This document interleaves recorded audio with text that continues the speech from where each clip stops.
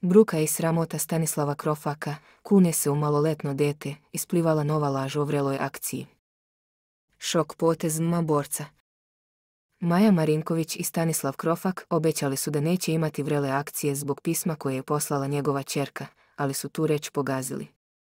Njih dvoje su nakon žurke imali brutalnu akciju u toaletu hotela, a produkcija je objavila snimke sa kamera i pokazala da je par uhvaćen u laži, ali su oni nastavili da poriču i sinoć tokom emisije, što je dodatno šokiralo brojne gledaoce najgledanijeg realitija na ovim prostorima.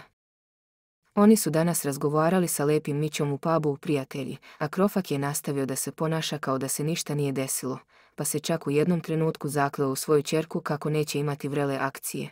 Po cenu toga da mu neko kaže da to uradi za pobedu u realit programu Elita. On samo nema stav za seks, rekao je lepi Mića. Kako da nađemo rešenje?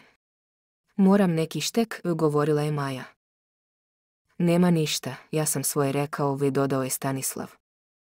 Udarite to vi bez šteka, poručio je lepi Mića. Meni neko da kaže, bit ćeš prvi, napravi to, a to ne bih napravio. Kunem se u svoju čerku, govorio je Pantera. Ja u to verujem, rekao je Mića. I ja verujem te, smejala se ironično Maja Marinković. Ostaje da vidimo da li će snimak vrele akcije nakon žurke biti emitovan i da li će svi takmičari saznati koliko su Maja i Stanislav lagali, a pogotovo on koji je dao reč svojoj maloletnoj čerki.